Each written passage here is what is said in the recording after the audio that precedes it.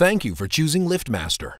Setting the travel limits can now be done in a few easy steps. Programming the limits allows you to control where the gate will stop in the open and closed positions. And if you need to fine-tune any one of the limits later, there is no need to go through the entire setup procedure. Each limit can be adjusted individually without affecting the other. This video is intended for demonstration purposes only. Please consult the manual for complete instructions and safety information. Using the SL3000, we'll demonstrate how to set handing, program the limits, and adjust the force on a LiftMaster gate operator. You'll need access to the control board. Please note that the test buttons on the control board will not work until the handing is set. For dual gate applications, the limits will have to be set for each operator. The gate must be attached to the operator before setting the limits and force. We'll begin with the gate in the closed position. Prior to setting the limits on an AC operator, you must first determine the handing. Handing refers to the direction the operator opens the gate as seen when facing the operator and gate. To set the initial handing of the operator, make sure that both open left and open right LEDs are flashing. If they are not flashing, press and hold both the open left and open right handing buttons until both handing LEDs start to flash and the operator beeps. Press and release either the open right or open left button depending on which direction the gate should open. The corresponding handing LED will turn solid. The handing is now set. To program the limits, first make sure the gate is closed. Press and release the Test Open button to open the gate.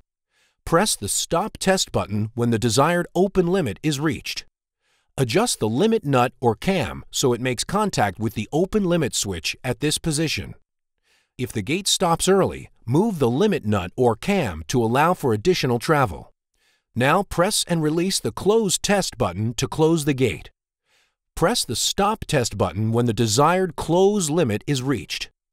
Adjust the limit nut or cam so it makes contact with the close limit switch at this position.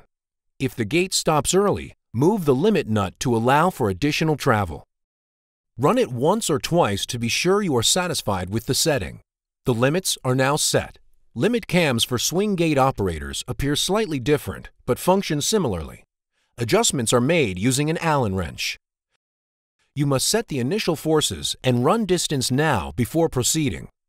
To set the forces and run distance, press the Open Test button to open the gate. Press and release both the open left and open right handing buttons at the same time. Now press the handing button below the solid LED. To complete the programming, run the operator one full cycle using the test buttons. Limits, force, and run distance are now set. Force will be adjusted automatically as long as the dial is set between 4 and 9. Anytime you adjust the limits, you must also set the force and run distance again. The force dial factory setting is in the middle. The force setting should be high enough that the gate will not reverse by itself, nor cause nuisance interruptions, but low enough to prevent serious injury to a person. The force setting is the same for both the open and close gate directions. Settings 1 through 3 are fixed force settings. There is no force adjustment.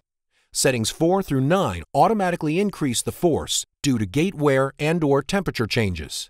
10 is the maximum setting and will not adjust up further.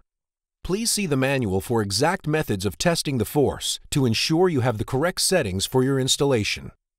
Environmental factors such as snow on the ground or strong wind may cause the gate to reverse if the force setting is not sufficient. Set the force high enough to avoid these nuisance interruptions, but low enough to prevent injury to a person. Be sure to test the safety reversal system after any adjustments. Thank you for choosing LiftMaster. Remember to visit us on the web at liftmaster.com or the dealer extranet.